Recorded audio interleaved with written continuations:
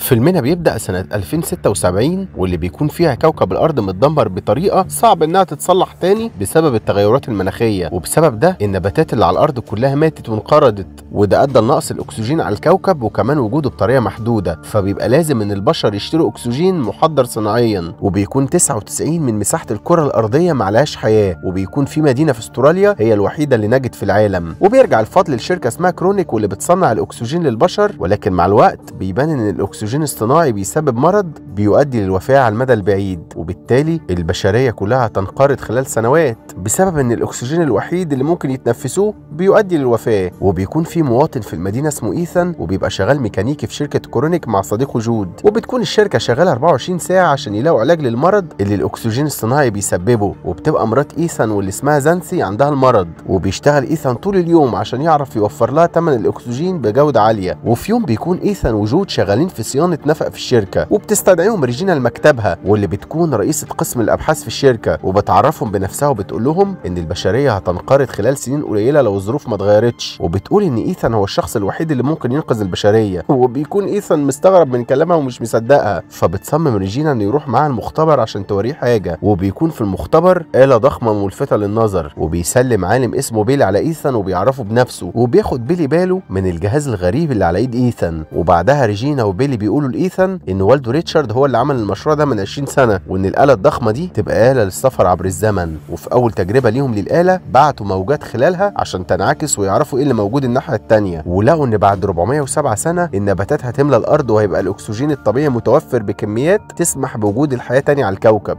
وبيقول بيلي إن بما إن البشرية عرفت تصمد لسنين في المستقبل فممكن يكونوا لقوا علاج للوباء اللي عايشين فيه. وبتقول ريجينا إن الموجات المنعكسة بعتت لهم رسالة من الآلة ولما حللوا الموجات لقوا شفرة. لما فكوها عرفوا إنها رسالة بتقول ابعتوا إيثان للمستقبل. وبتبقى ريجينا عايزة تبعت إيثان للمستقبل عشان يرجع بالعلاج. وبيبقى الموضوع ده غريب بالنسبة لإيثان. وبيبقى مفكر إن ريجينا بتكذب عليه فبيرفض الطلب عشان ما يسيبش مراته المريضة ويروح المستقبل. وبيمشي هو وصديقه جود من المختبر وبيروحوا المطعم. وهناك بيعرفوا يشتروا أكسجين صناعي وبيتكلم جود مع إيثان وبيحاول يقنعه إنه يوافق عشان ينقذ البشرية. ولكن إيثان بيستهزئ بكلامه وبيقول له إنه مش عايز يكون زي والده وبيكون إيثان بيكره والده عشان عمره ما كان جنب ابنه في يوم من الأيام. لأن من 20 سنة والده ساب البيت وبقى مفقود. ووالدة إيثان اتقتلت لما كان طفل ومن ساعتها بيكون جود هو اللي مربيه وبيبقى زي أخوه الكبير. وبيلوم إيثان والده على إنه ساب مراته تموت عشان مشروعه. فبيقول إيثان عشان كده هو مش عايز يعمل ده مع زانسي مراته. فبيستخدم جود الكلام ده وبيقول إن عشان إيثان ينقذ مراته من الموت لازم ينفذ الطلب بتاع ريجينا ويجيب العلاج من المستقبل. وساعتها بيرجع إيثان بالزمن وبيفتكر يوم عيد ميلاده وهو صغير. ولما والده جاب له هدية على شكل صندوق غريب. وأول لما إيثان حط إيده في الصندوق مسك فيها جهاز غريب حوالين إيده وخلاه ينزف. وبيبقى ريتشارد هو اللي مخطط لده وإن الجهاز ده هيفضل في دراع ابنه طول حياته. وبتعدي السنين ولحد دلوقتي إيثان ما يعرفش إزاي يستخدم الجهاز. وبعدها بيروح إيثان بيته وبيقول لزانثي على كل اللي حصل له النهارده في الشغل. وبتصمم مراته إنه يوافق. وفي تاني يوم بيحفر إيثان رسالة على وردة معدنية لمراته وبيبقى كاتب فيها إنه هيعرف يلاقي لها طريقة. وبيسيب الوردة جنب مراته وهي نايمة وبيروح لمكتب ريجينا وبيقول لها إنه لما يلاقي العلاج هيستخدموه على زانثي كأول بشرية تجربه. فبتوافق ريجينا وبتاخده على المختبر. وهناك بيوريه بيلي البدلة اللي إيثان هيلبسها قبل ما يدخل الآلة وبعدها بيشرحوا لإيثان إزاي هيقوم بعمليته. ولكن إيثان بيلاحظ من طريقة كلامهم إنهم ما عندهمش فكرة أو خطة وكمان مش عارفين هو هيشوف أو هيقابل مين الناحية الثانية ولكن رغم كل ده بيوافق إيثان وبيديله بيلي جهاز اسمه أرتشي واللي من خلاله فريق المختبر هيقدر يتتبع إيثان في المستقبل وكمان هيعرفوا حالته الصحية وموقعه فين وبعدها بيدخل إيثان الآلة. وجوه الآلة بيسافر إيثان بسرعة خيالية عبر الزمن وبيقع من السماء وبينزل على الأرض في غابة مجهولة وبسبب احتكاك الهواء مع البدلة بسبب سرعته بتولع البدلة فبيقلعها إيثان بسرعة وبعدها بيبص حواليه وبيبقى أول مرة يشوف نباتات وبيبقى مذهول بجمال الطبيعة وبيلاحظ إن العالم اللي هو عارفه اتغير تماما في المستقبل وإن النباتات والأشجار رجعوا يتزرعوا تاني. وبعدها بيمشي في الاتجاه اللي ارتشي بيوجهه ليه وبيوصل لغرفة سريه تحت الأرض في الغابة وبياخد باله من هيكل عظمي قدام البوابة وبتبقى الجمجمة فيها خرم بسبب طلقة وبيبص على الاسم اللي على الهيكل فبيلاقي اسمه هو اللي مكتوب فبيخاف. وبعدها بيستوعب إن ده هو في المستقبل وبيلاقي معاه ارتشي تاني من الماضي. وبيسمع إيثان التسجيلات اللي عليه وبيسمع صوت واحد بيقول هي دي الطريقة الوحيدة. وبيسمع صوت ضرب نار ولكن ارتشي بيفصل بسبب الشحن فبيخاف إيثان وبيعرف إن هو ده مصيره اللي مستنيه في المستقبل. المستقبل وبعدها بياخد باله من الجهاز اللي في ايد الهيكل وبيلاقي إنه نفس الجهاز اللي معاه. بس النور اللي عليه أخضر عكس ما هو أحمر على جهازه اللي معاه دلوقتي. وبالليل بيولع إيثان نار عشان يتدفى وبياكل توت بري. بس بيطلع مسمم وبيفضل إيثان يرجع وبيفقد الوعي. وبيفوق تاني بعد شوية وبيتفاجئ بوجود صديقه جود قدامه في المستقبل. وبيطلع إن المختبر عرفوا الحالة الصحية اللي إيثان فيها خلال أرتشي فبعتوا له جود ومعاه العلاج اللي هيعالجه من السم عشان ينقذوه. وبعدها بيروحوا للهيكل وبيلاقي إيثان لسه موجود زي ما هو.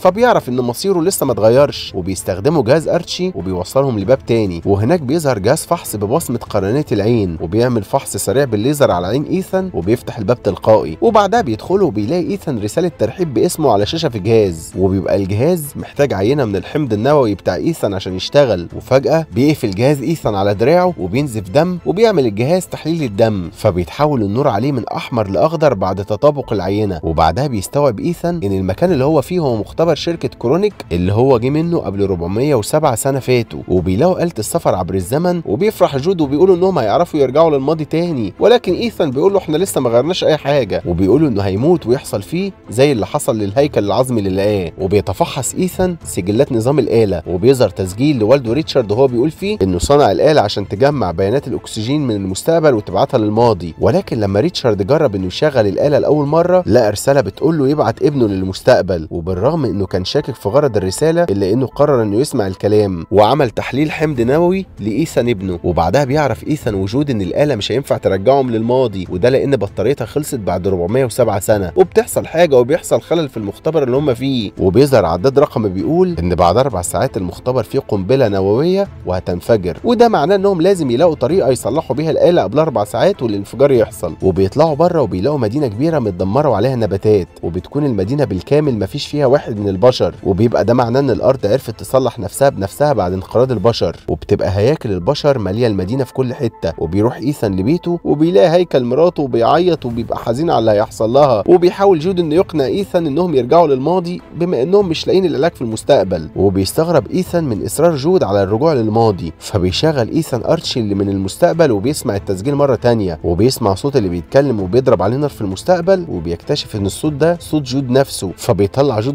مسدسه من جيبه وبيوجهه لإيثان وبيقول إنه مستحيل يضرب عليه نار. فبيقرر إيثان إنهم يكملوا المهمة الأول وبيتعاونوا مع بعض وبيصلحوا مصدر الطاقة في المختبر وبيشتغل نظام المختبر من جديد وبيبقى ينفع إنهم يرجعوا الماضي وبيكون فاضل 37 دقيقة عشان البوابة الزمنية تشتغل وأول ما يوصل العداد للصفر هيرجعوا لسنة 2067 ولكن إيثان بيلاقي هيكله العظمي لسه موجود زي ما هو في نفس المكان وده معناه إن الماضي بتاعهم هيكون زي ما هو ومفيش حاجة هتتغير. فعشان يعرف إيثان حقيقة اللي بيحصل بيروح ويغير البطاريات ما بين ارتشي اللي من الماضي للمستقبل. وبالطريقة دي بيعرف إنه يشغل عليه فيديو وبيبقى في الفيديو جود وهو بيقتل إيثان بطلقة في راسه. فبيعترف جود وبيقول إنه كان عارف إن مفيش فايدة من السفر للمستقبل وإنه راح لإيثان عشان يحميه ولكن بيكون الموضوع صعب إن إيثان يصدقه. فبيحبسه في أوضة وبيقفل عليه وبيرجع يشغل تسجيلات والده وبيلاقي تسجيل ما بين والده وريجينا. وبيقول فيها ريتشارد إنه عايز يستخدم الآلة عشان يلاقي علاج ينقذ بيه البشرية. ولكن ريجينا بتكون عايزة تستخدم الآلة هي والناس مختاراهم وده عشان يسافروا ويهربوا لوحدهم ويتخلصوا من باقي البشر. ولكن في الخطتين بيبقى لازم واحد إنه يسافر عبر الزمن ويبعت لهم رسالة إنه لسه عايش بعد الرحلة. بس ده هيحتاج لحلقة وصل ما بين العالمين. وعشان ريتشارد يوقف مخططات ريجينا بيخلي الحمض النووي بتاع ابنه إيثان هو المفتاح الوحيد للآلة. وبتتعصب ريجينا من اللي ريتشارد عمله فبتقتله بالمسدس وخلت جود يقتل مراته ويكون مع إيثان من صغره. وده عشان يخلوا إيثان لما يكبر يتعاون معاهم عشان يشغلوا الآلة. وبيكون إيثان مصدوم وزعلان ومتعصب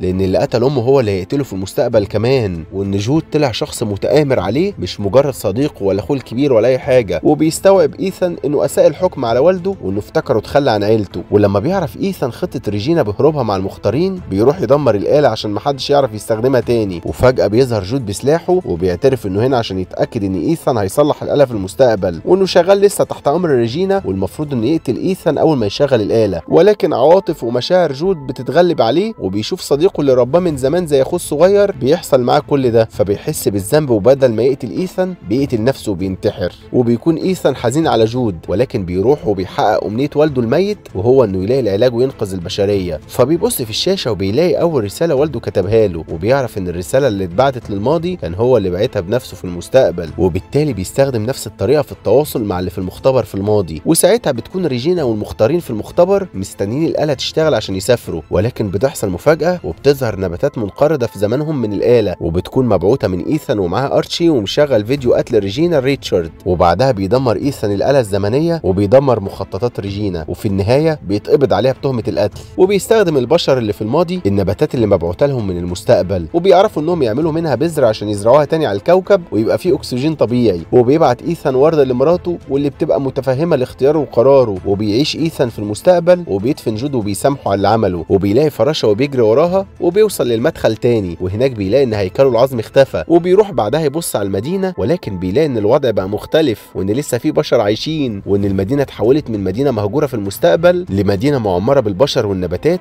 بسبب إنقاذه للبشرية في الماضي. الفيديو ده كتبه كريم أشرف وسجله محمد طاهر ده اللي هو أنا يعني. ومنتجه محمود طاهر. وما تنسوش تعملوا فولو لصفحة فيلم في الخمسين عشان تتابعوا الملخصات الدرامية وفولو لصفحة محمد طاهر عشان تتابعوا الملخصات الكوميدية وفولو لصفحة هكونا مطاطا عشان تتابعوا ملخصات الأنمي والكرتون. سلام.